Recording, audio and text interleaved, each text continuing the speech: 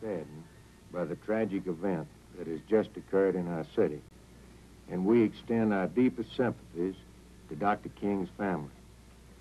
Every conceivable effort is being made to apprehend his assassin. Meanwhile, we call upon all citizens of our community, as Dr. King would have wished, to maintain peace and order. To maintain peace, the mayor ordered a curfew. Memphis was cordoned off by the police and National Guard.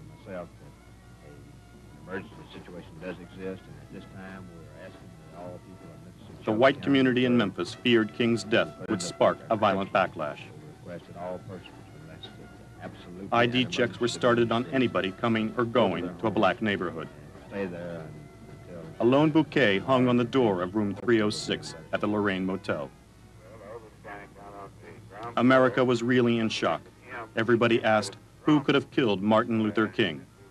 The FBI very quickly offered an answer.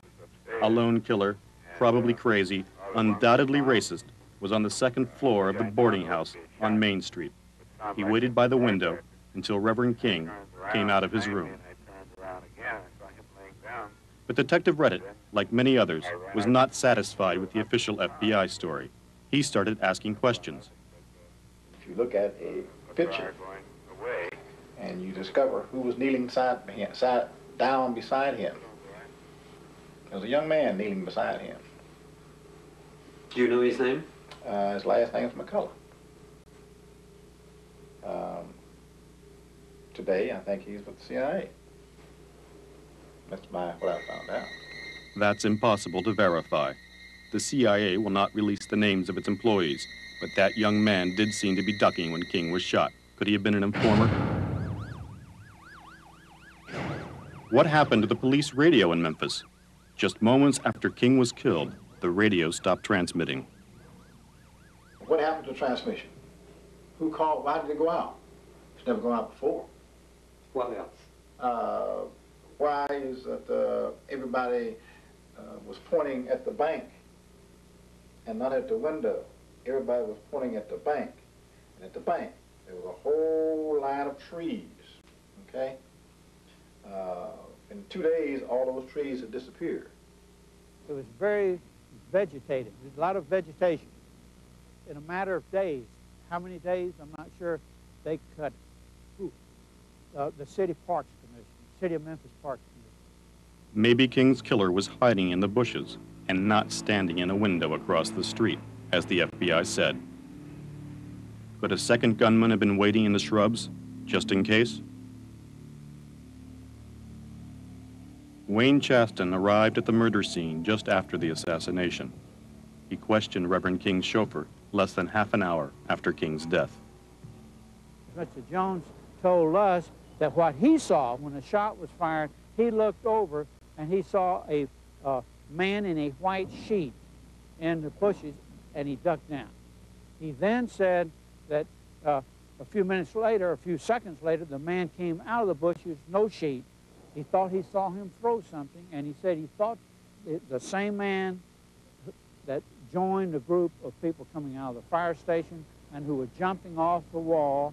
He also said that the man that he thought he saw come out of the bushes jumped off the wall and came on the premises of the Lorraine Motel. And he said he was scared because he was convinced that that was the man who fired the shot. A killer hiding behind a white sheet? That sounds improbable. Yet look closely at this news film taken the day after King's death.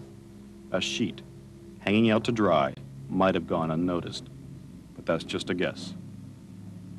According to the testimony of a policeman named Gorman, a Remington rifle with James Earl Ray's fingerprints was found near the boarding house less than two minutes after King's assassination.